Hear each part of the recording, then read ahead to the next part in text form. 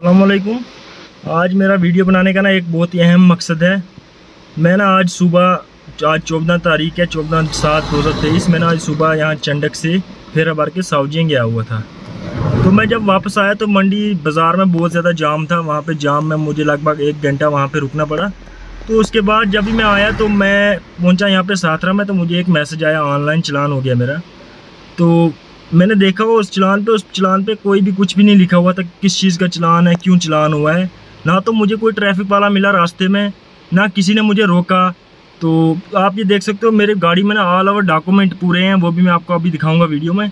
और मेरा जो है ना यूनिफॉर्म मैंने फुल पहनी हुई है, मेरी सीट बेल्ट ओके है, मेरी नेम प्लेट ओके है, मेरी गाड़ी में कोई भी लोड नहीं था, खाली गाड़ी थी। तो हमारे जो एएसआई हैं ट्रैफ़िक आरफ साहब तो वो मुझे तो कहीं मिले नहीं, उनका ना कोई बंदा मिला मुझे कहीं मंडी बाज़ार में, कुछ भी। तो जब मैंने उनसे बात की तो बोल रहे हैं, आप रुके नहीं। जब मुझे कोई रोके तो मैं रुकूँ ना। तो फिर मुझे उन्होंने ऑनलाइन चलान कर दिया। तो लिहाजा वो मुझे कहीं पे भी नहीं दिखे, वो शायद अपनी गाड़ी में कहीं पे बैठे हुए थे। तो जैसे ही मेरी गाड़ी उनके पास से गुजरती है तो उन्होंने पीछे से फ़ोटो खींच के मुझे चलान भेज दिया। लिहाजा आप मुझे ये बताइए कि क्या ये तरीका सही है?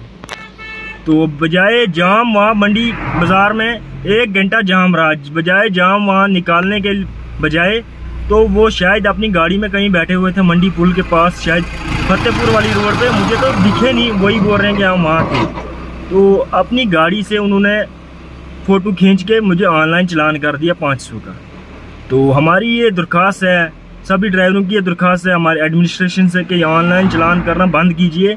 तो लिहाजा वही पहले वाला सिस्टम रखिए, वो बहुत बेहतर सिस्टम था कि आप हमारे डॉक्यूमेंट चेक कीजिए, हमारी गाड़ी में अगर कोई ओवरलोड है, कोई ओवर हाइट है, कुछ माल है तो फिर हमें चलान कीजिए। ऐसा सिस्टम नहीं होना चाहिए कि गाड़ी चल रही है तो पीछे से आए हमारे आरिफ साहब तो उन्होंने चलान कर दिया। ये कोई सिस्टम अच्छा नहीं है।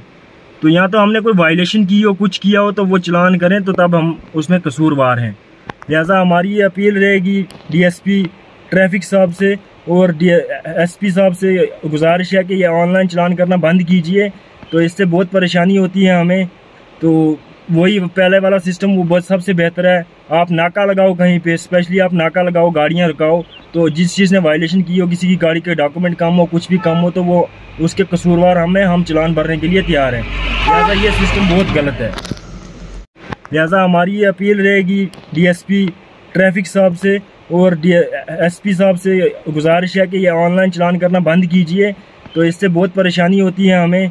तो वही पहले वाला सिस्टम वो बहुत सबसे बेहतर है। आप नाका लगाओ कहीं पे, स्पेशली आप नाका लगाओ, गाड़ियाँ रुकाओ तो जिस चीज़ ने वायलेशन की हो, किसी की गाड़ी के डॉक्यूमेंट कम हो, कुछ भी कम हो तो वो उसके कसूरवार हमें, हम चलान भरने के लिए तैयार हैं। लिहाजा ये सिस्टम बहुत गलत है।